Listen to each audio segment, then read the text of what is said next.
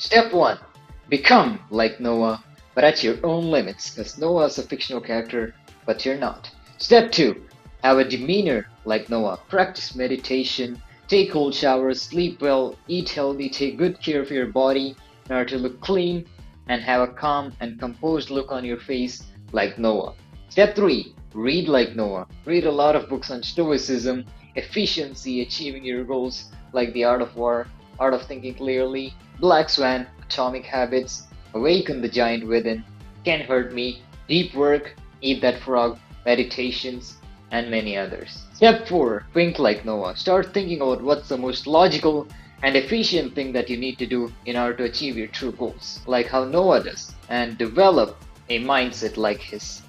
Step 5 Plan like Noa. Plan in the most logical way possible with a well defined step by step plan and contingency plans in order to be ahead of others. Step 6 Focus like Noa. Now that you have the whole thing mapped out, narrow down your plans and focus on what's actually the most important thing right now which you need to do to succeed. This kind of narrow focus helps you to avoid any distractions. Step 7 Aim like Noa.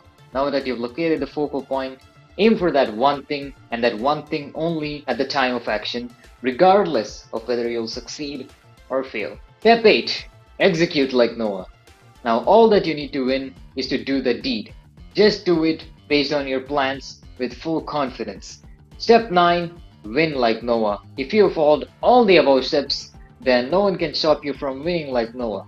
However, step 10 Become like Noa, but in your own way. Use the steps for your own things or fields and combine them with your personal values and what you stand for. Thanks for watching.